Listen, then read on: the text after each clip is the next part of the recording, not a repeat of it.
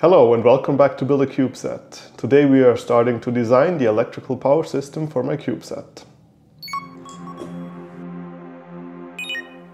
A few years ago I found a YouTube channel called RGSat where someone set out to design and build their own low-cost CubeSat. So this basically was my first indication that, at least in theory, it should be possible.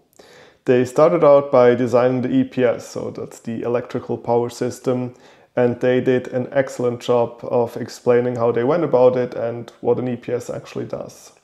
So for the sake of avoiding some duplication of effort, I'm not going to go into a lot of background on the EPS, but instead um, link to their channel here and in the description.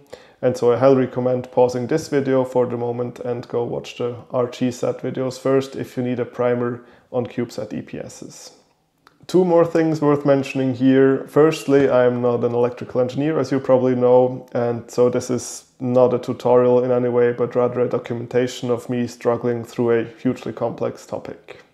And secondly, I'm intentionally keeping this kind of minimal and cutting some corners for the moment because I would like to move past the EPS as quickly as possible and get to the rest of the system. So that's the OBC, the onboard computer, the communications and the payload. My idea here is to get to an MVP of the whole system as soon as possible and then come back in the future and start improving the individual subsystems once I have a feeling of how everything likes to work together.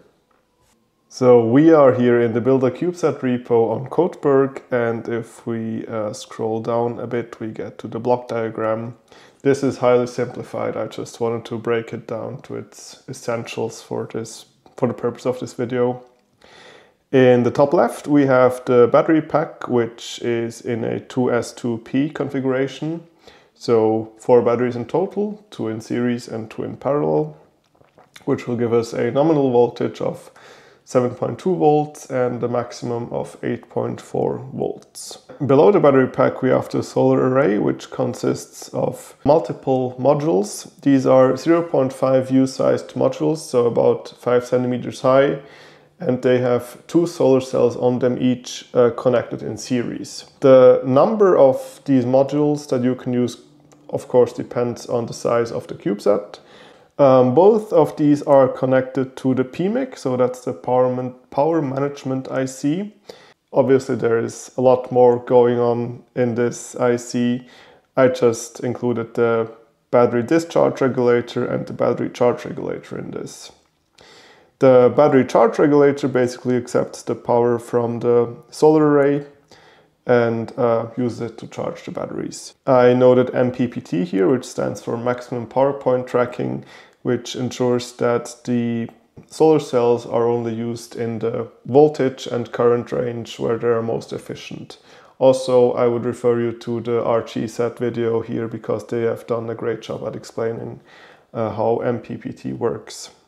The battery discharge regulator basically monitors battery health in terms of voltages, discharge current, um, and temperature. And it is connected to the DC regulator, which we have here on the right.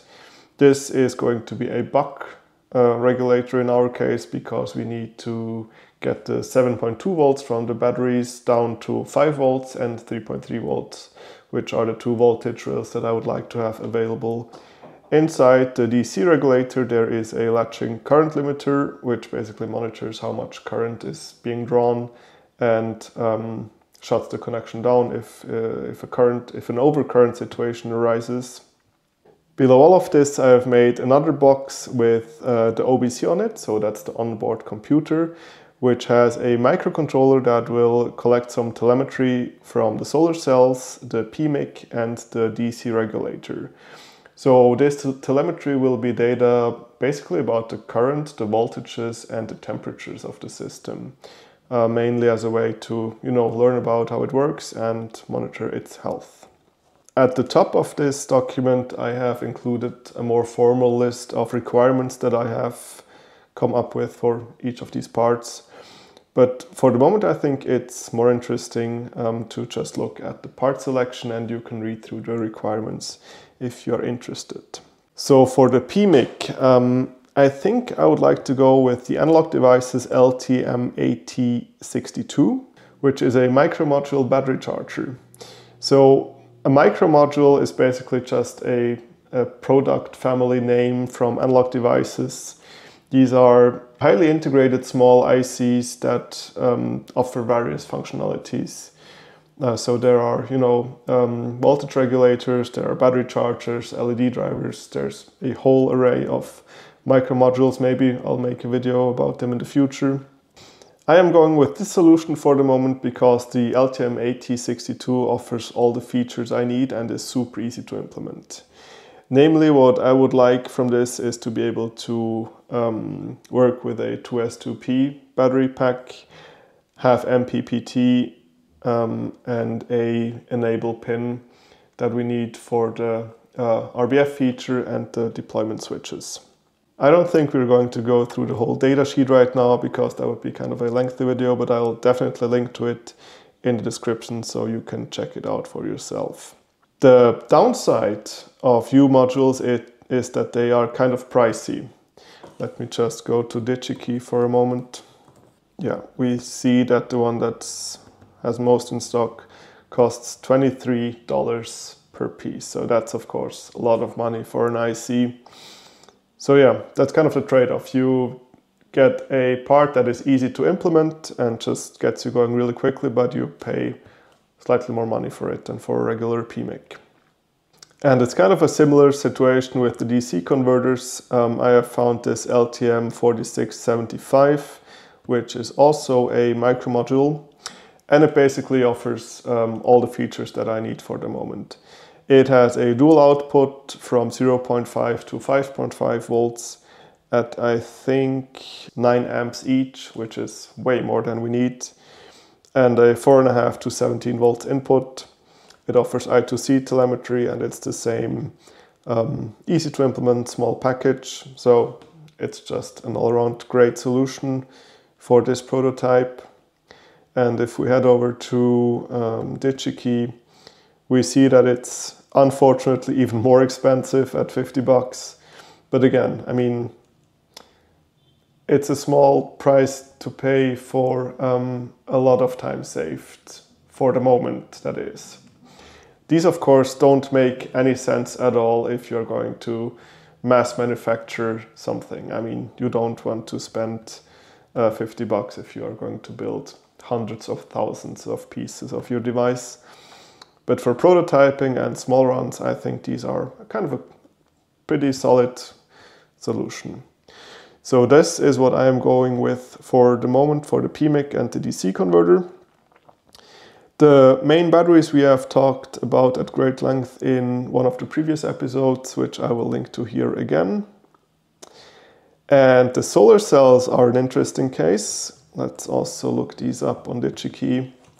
I have taken a page out of the RGZ book here again. They also went with um, Anysolar products, but they went with uh, single cells. And what I have found are, is this module that has multiple cells on it. And it kind of fits pretty nice. The two of them fit pretty nicely on a 0.5 U panel. So yeah, that's what I'm going with for the moment. They output um, about 6.9 volts uh, open circuit and 300 uh, milliwatts each. Uh, that's of course in ideal conditions when the light hits perpendicularly. So, and as you can see here, the prices are somewhat reasonable. Of course, as we are going to need a bunch of those, this will also, you know, add up. But I think it's reasonable for a high quality, thin and light solar cell.